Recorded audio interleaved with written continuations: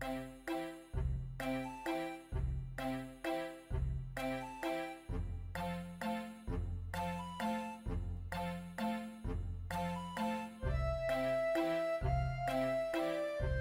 いというわけで今日はディズニーに行く準備をしていきます。で朝のスキンケアの紹介はつい最近動画でアップしたのでそちらを検索してみてください。なんか予定だったら6時からのアフターシックスアフロクっていうやつに行こうって言ってたんですよ。妹がなんかまだ学校があって。って言ってたけどなんか5時から入れるやつがあるって来たからえ何？大学早く終わんの？みたいな。ちょっと今よくね時間わからないんですけど。とりあえずちょっと30分ぐらいでも予定してた時間より早く出れればいいかなと思ってます。服ももうね決まってるし持っていくものもいつもの荷物から減らすだけなんですよ。今回は耳とかを妹が買ってくれるからだから家から持っていかなくて大丈夫なので。歴史のはね結構荷物少なめなので楽。昨日出かけてて汗かいたから水めっちゃ飲みまくってむくみがすごいんですよ。か手でやる方がやっぱりねあの自分の骨格に合わせてこうできるからいいけどこういうのも1本ぐらい持っといた方がすごい便利かも。ロフトで1000円しないやつとか、まあ、100均とかでもあります。ただ100均とかだったらこう顔を挟んでぐるぐるするようなやつはバネっていうかこの V 字になってる部分がちょっと弱かったりとかするから私的にこういうちょっと小さめの形のやつがおすすめです。これもロフトで買いました。東急ハンズとか結構どこでも売ってます。このまま首筋。じゃあ向こうに移動してお化粧したいと思います。違うその前にまず着替えないと。結構ねでかかった。もともとなんかデザイン的に大きく作られてるやつだから私 T シャツとかはダボダボに着たくて M とか L 買ったりするんですけどこれは S サイズにしといて正解かも。でスカートついてないけどこんな感じでこのシリーズミディスカートプリーツミディスカート GU のやつね大好きでこれ今年3枚目ぐらい。全部色違いで買って。る靴下はグレーのくるぶしちょい上ぐらいのやつ履きます。じゃあ今から向こうに移動してメイクしていきましょう。じゃあちょっと雑談しながらメイクやっていきます。これねすごいいいんですよ。ずっとこれで持ち歩いてたんですよ。なんか大阪と東京往復する時に。持ち運べると思って。でもやっぱり家におる期間が長かったらこれの方が便利だなと思って。であんまり並びすぎると取りづらいからもうごちゃっと入れてます。こんな感じで。だいたいよく使うようなコスメを。でここから取って化粧したりとかっていう風に最近やってます。蓋もついてるしキャンドゥで買いました。なんかすごい。今日乾燥すごい。あティッシュ取ってくの忘れた。妹とはね一緒に住んでないんですけど妹も大学で関東に来てるんですよ。だから結構頻繁に会ったりとかご飯行こうって誘って夜ご飯だけ一緒に行ったりするんですよ。だからあの友達とディズニー行くのもすっごい楽しいんですけどでも大体友達新幹線の終電の時間とかがあっていつも一緒にディズニー行ってもパレードを見れず帰ることがね多いんですよ。だから久々に一番の目的はパレードを絶対に見るっていうのが目標。なのですごくね今日楽しみです。で私はアトラクション乗れない。絶叫系は怖くて乗れないし乗ったとしてもすぐに酔うんですよ。それがヤバすぎて。三半規管弱いのを理解してくれてる友達がよく誘ってくれてあの乗り物乗らんくていいよっていう。まあ実際ちょっと乗るんですけど結局ね、まあ、酔ったりするからあんまり迷惑かけない程度のこれだったら大丈夫かなっていう乗り物に乗ったりとか。っていう感じで。どうしようかな。ファンデーション。どうせ落ちるもんな。もういつも通りでいいや。このスキンケアパウダーファンデーション代わりにします。ちょっと眉毛だけ先に描きます。さっきまで涼しいと思ってたけど全然暑いわ。ディズニーシーは今年の3月ぐらいに大阪の高校からの友達と行ったんですよ。でその時もあのパレードは見ずに帰ったんですけどそのディズニー行ったのがまあ大体34ヶ月前ん？3456784 5ヶ月前か。でランドがその写真を遡ってみれば1年数ヶ月ぶりぐらいやった気がする。去年の5月頃に行って結構ランドは久々。私もともとそのアトラクションがね乗れないからあんまりそのディズニーとか好きだけど行きたいって思わなかったんですよ。どうせ乗れないしと思って。でユニバだったら年パス買って家からでも大阪だからすぐ行けるし1人でも行けるしと思って。ディズニーも1人で行けるけど年パス持ってるわけじゃないからっていう感じで。しかも大阪から友達泊まりに来てくれるってなったりとか仕事で来るってなってもやっぱりディズニー行こうってなるんで割と頻繁に行ってる方かな。髪の毛どうしよう。今日そんなに湿度高くないからちょっとだけウェーブにしようかなって思ってるけど時間あるかな。でリップは大体ねリップあんま塗り直せない時はこれ持っていってるんですけど今日は妹だし、まあ、気兼ねなく過ごせるっていうことですぐ塗り直しもできるように。これも一応ティントなんですよ。これでよし。ちなみに今日は金曜日なんですけど人多いのかな？あつけすぎた。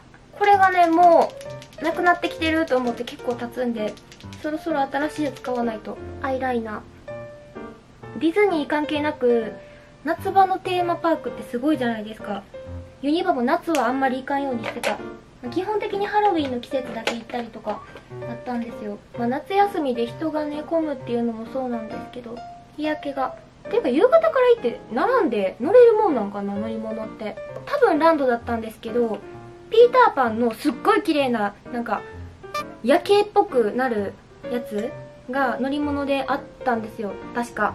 それもめっちゃ酔ったから大変。チーク塗ろう。アイシャドウちょっと濃くしたからチークは薄めでいきます、まあ、言うていつも薄いけど。よし。じゃあもう一回洗面所に移動して次は髪の毛をやっていきます。これも向こうで塗りましょう。オイルブロックベース。移動してきました。アイロン155度で設定してます。どうしよう前髪ちょっと伸びてきたから切りたい。このね髪の毛の長さになってからだいたい1ヶ月ぐらい月1ぐらいで美容院に行くようにしようと思って行ってたんですけど1ヶ月ぐらい前ね私結構あの前頭ブリーチして色を入れてまあでもすぐ色落ちして金髪になってたんですよ。でその直後ぐらいに髪の毛を早く染めないとと思ってちょっとここら辺がプリンになってきてたし金髪すぎたし。で行きたかった美容院がそんな自分が行きたい時すぐに取れるわけじゃないじゃないですか。で空いてるところで割と口コミ良かったところを探そうと思って行ったらお店自体はすごく良かったんですけど私を担当してくれたその美容師さんが「長さどうしますか?」って最初聞いてくれたんですよ。でその前に行った時の美容院で撮ってもらった写真がまインスタにもアップしてるんですけどすごい綺麗に色を入れてもらったし髪の毛の長さもいい感じにこう短くしてもらっててでそれを見せたんですよ。後ろ姿のこの長さこれぐらいでっていう。前髪だけストレート。でこの今てっぺんの表面の髪の毛だけこう後ろでピンって留めてるのでこの中側の髪の毛だけをちょっとだけ外羽にします。でそれでねあので色はどんな感じですかっていう質問で結構もうピンクってはっきり分かるピンク系かそれかミルクティーアッシュにしようと思ってますって言ってせっかくねその色をしたくて金髪ブリーチしてたからでその色を迷ってますって言ったらちょっと持っててくださいって言って店員さんがね後ろのバックヤードに行ったんですよ。であの髪の毛の色とかのサンプルを持ってきてくれるのかなと思って髪の毛の色の表とかブルー寄りとかアッシュとかピンク系とかいろいろそういう表がね実際の髪の毛っていうかこう毛があって大体こういう色みたいな表があるからそれをね持ってきてくれると思ってたらもうカラー剤を持ってきたんですよ店員さんが。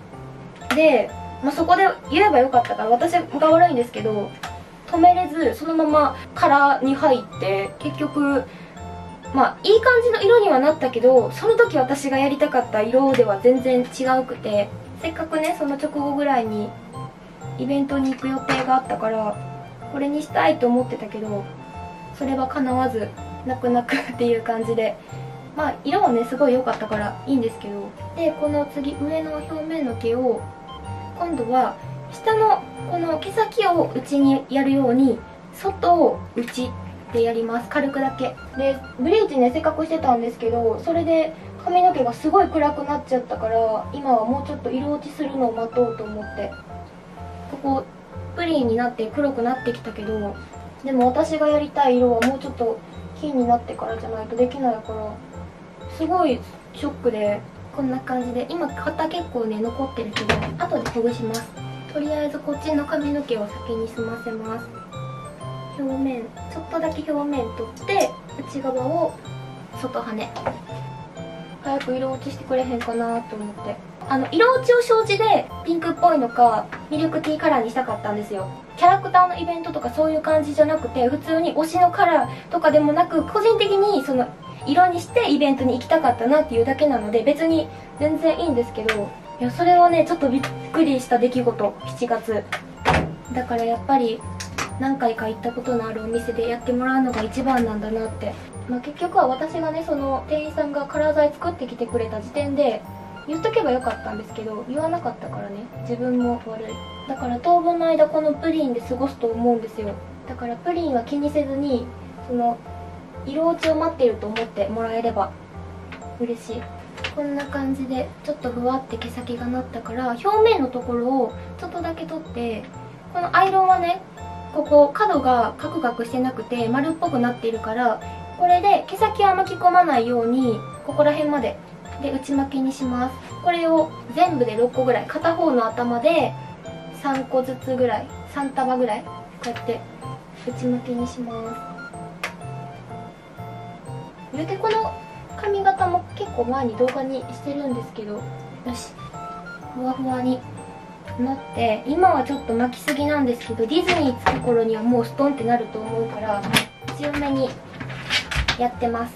もうちょっと熱取れたらオイルを塗っていきます。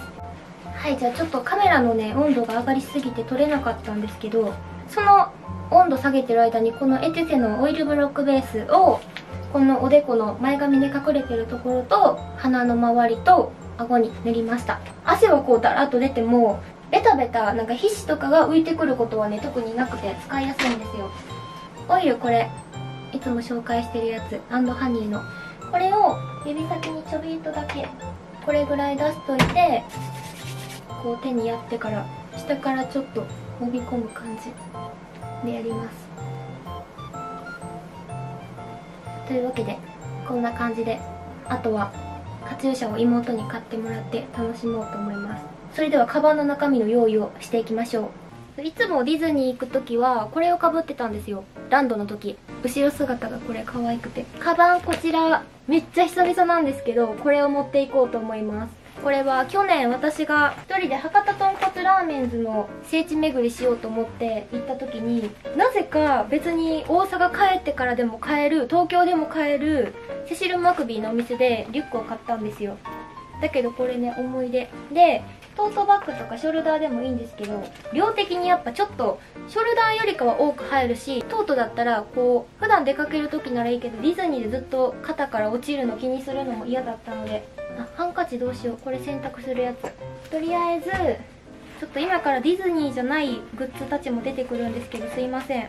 モバイルバッテリー。これ入れてであとイヤホンは首からぶら下げていく。よしモバイルバッテリー完了。あとメガネ。は夜。見るときにつけるのでメガネ。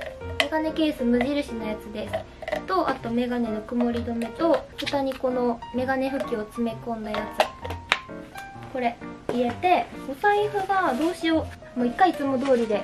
これとあとキーケース。でシュシュも一応持っていこうと思います。帰りあのカチューシャで髪の毛ペタってなるやろうし帰りはまとめるようとしてで帰りちょっとスーパーで買い物しようと思うのでエコバッグ。薄いやつを入れていってであとこれ。最近買ったんですけどこれねセブンイレブンのあのボディシートです。あのサラサラになるやつを入れてちょっと嫌やけど日焼け止めを久々に塗ろう。でも日焼け止めは置いていってあとここに頭痛薬とかさっきのオイルブロックベースもここに入れてます。これぐらいかな。であとこれ妹に渡すこれの白の T シャツ。これも入るか。